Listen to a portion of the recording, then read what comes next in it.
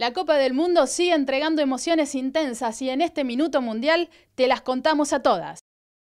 Los rivales de Argentina, Irán y Nigeria se enfrentaron. Con el análisis de uno de nuestros enviados especiales a Brasil, Guillermo Monti, podrás entender por qué después de este partido la selección de Alejandro Sabela tiene más aire de grandeza.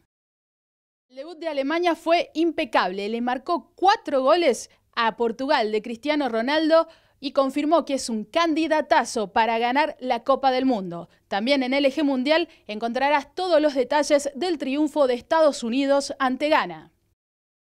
Uno de nuestros enviados especiales, Guillermo Monti, te cuenta desde Belo Horizonte por qué el sello norteño sigue marcando fuerte en Brasil. Los salteños copan la ciudad brasileña también junto a los tucumanos. El último partido de la jornada de hoy, que empezará a las 19, tendrá el debut del árbitro internacional argentino Néstor Pitana, que será el encargado de hacer cumplir las reglas en el partido entre Corea del Sur y Rusia.